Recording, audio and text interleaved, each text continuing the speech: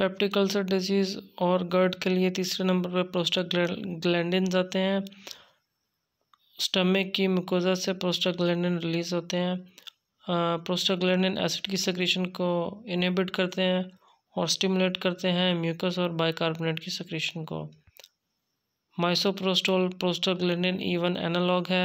ये एनसेड induced ulcer के लिए यूज़ होता है प्रोफिलेक्टिकली, लेकिन PPI are preferred prostaglandin stimulate करते हैं यूट्राइन कंट्रैक्शन को, जिसकी वजह से मिस का रिस्क हो सकता है और ये प्रेगनेंसी में इसलिए कंट्राइंडिकेटेड है। साइड इफ़ेक्ट इनका डायरिया है। चौथे नंबर पे एंटासिड्स आते हैं। इसमें चार ड्रग्स आती हैं। Aluminium hydroxide calcium carbonate magnesium hydroxide sodium bicarbonate calcium carbonate osteoporosis के ट्रीटमेंट में भी यूज़ हो सकती है। ये वीक बेसिस होती हैं, ये स्टमक के एसिड से कंबाइन होकर वाटर और सॉल्ट बनाती हैं और ये पेप्सिन की एक्टिविटी को भी डिक्रीज़ करवाती हैं क्योंकि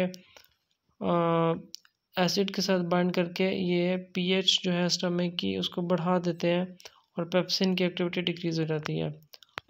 सोडियम बाइकार्बोनेट के यूज़ से ट्रांजिएंटली मेटाबॉलिक अल्कलोसिस और सोडियम लोड बढ़ सकता है, इसलिए ये कॉमनली यूज़ नहीं होता। इनका यूज़ आफ्टर द मील होता है। ये सिम्टमेटिक रिलीफ के लिए यूज़ होते हैं। यानी कि पेप्टिक अल्सर डिज़ीज़ के सिम्टम्स हार्ट बर्न के सिम्टम्स गर्ट के सिम्टम्स को कंट्रोल करने के लिए। साइड इफ़ेक्ट में मैग्नीशियम हाइड्रोक्साइड डायरिया काज करवा सकता है। एलुमिनियम हाइड्रोक्साइड कॉन्स्टिपेशन काज करवा सकता है। और अगर किसी की रीनल प्रॉब्लम है तो ये ड्रग अकोमलेट हो सकती है। सो हमने डोज डोज एडजस्टमेंट की ज़रूरत पड़ सकती है। म्यूकोजल प्रोटेक्टिव एजेंट में दो आती हैं सुक्रलफेट और बिस्मुथ सब सैलिसालेट सुक्रलफेट एल्यूमिनियम हाइड्रोक्साइड के साथ सुक्रोज का कॉम्बिनेशन होता है। ये जेल या बैरियर बना देते हैं एपिथेलियल सेल्स के ऊपर।